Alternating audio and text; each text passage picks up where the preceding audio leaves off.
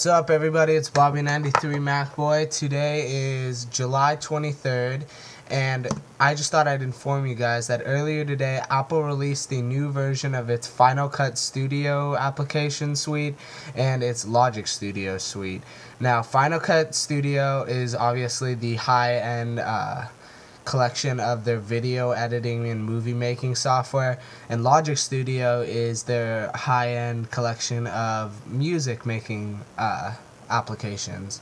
So both of these are very well used like in the big industries. Like Final Cut is used very frequently in Hollywood to make the big time movies and Logic is also very well used in uh, the music industry to make all professional music, like the artists that we hear on iTunes and stuff like that.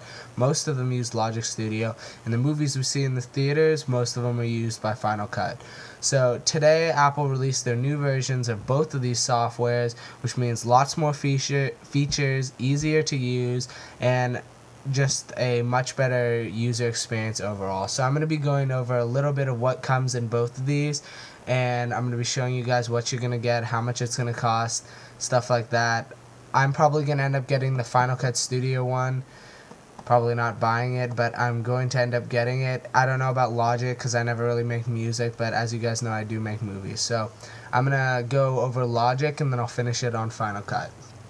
So in the new Logic Studio, they added four. Uh, there's four main key points of it. There's flex time, production tools, guitar gear, li and live performance.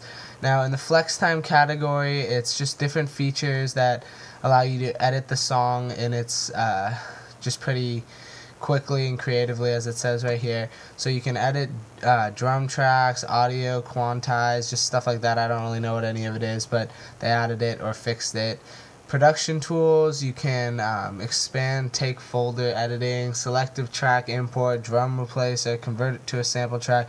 Just stuff that makes it uh, easier and quicker to use. Guitar gear they've added a lot of accessibility to people who want to make their own music with guitars. So they added more amps uh, build your own amp rig or whatever pedal boards. You can add tons of uh, amp um, sounds already pre-made and live performance they've uh, enabled like playback loopback uh, multi-mapping of controls group controls stuff like that. So they just added these four main things or fixed them or edited them whatever you want to say. And it looks like it's going to be very good. I don't really use I haven't used any logic before so I don't really know if this is like going to be a huge improvement but it looks cool. So if you're gonna buy this, it's it's gonna run you about. Hold up, let me let it load. It's gonna run you about five hundred dollars, and there's free shipping. It'll ship within 24 hours. Uh, it's gonna, uh, yeah, as you guys see, it just gives you all this information. You can get some more images if you want to take a look at all this stuff. It's just pretty much a really hyped up GarageBand. So I don't really, I wouldn't really use it. I'm not sure if you will. If you would like to buy this new Logic Studio, why don't you leave a comment in the description telling me why, or telling us why you want to use it and stuff like that. So this is the new Logic Studio. Now on to Final Cut. So in the Final Cut Studio bundle, it's going to come with Final Cut Pro 7, Motion 4, Soundtrack Pro 3, Color 1.5, and Compressor 3.5. Now I've I have Final Cut Pro on my home computer, which is the 24-inch iMac, and I have Final Cut Express on my computer. And basically with Final Cut Pro, or the only applications that I would use out of all this suite would be Final Cut Pro in Motion 4.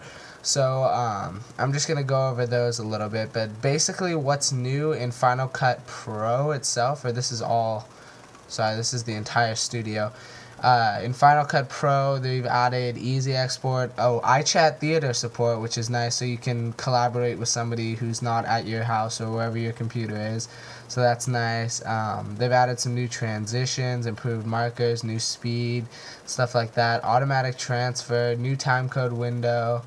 Uh, just all this main, all this interesting stuff. They've added multi-touch gesture support, which is kind of cool.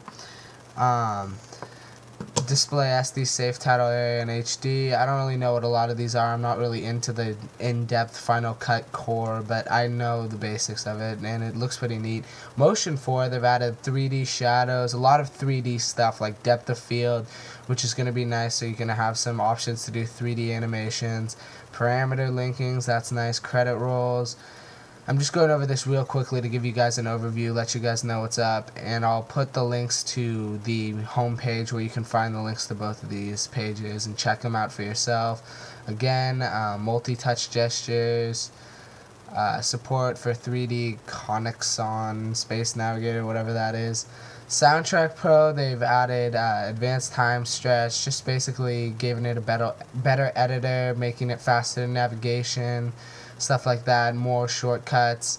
Color 1.5, they've added more colors, I believe.